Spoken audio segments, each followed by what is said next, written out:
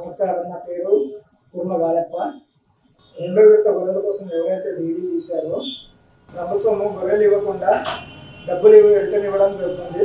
ఒకవేళ మీరు డీడీ కట్టి ఉంటే బ్యాంక్లో వెళ్ళేసి చెక్ చేసుకునగలరు అందరికి డబ్బులు అయితే రిటర్న్ రావడం జరుగుతుంది. రావట్లేదని చాలా మంది బాధపడుతున్నారు చా- చాలా మందికి తెలియదు డబ్బులు రావట్లేదని. ప్రతి ఒక్కరికి డబ్బులు రిటర్న్ రావడం జరుగుతుంది. దయచేసి ఈ వీడియో అందరికీ షేర్ చేయండి. ప్రతి గ్రూప్లలో షేర్ చేయండి.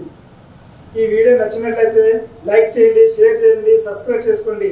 మరిన్ని ఇంట్రెస్టింగ్ వీడియో కోసం మా ఛానల్ని సబ్స్క్రైబ్ చేసుకోండి.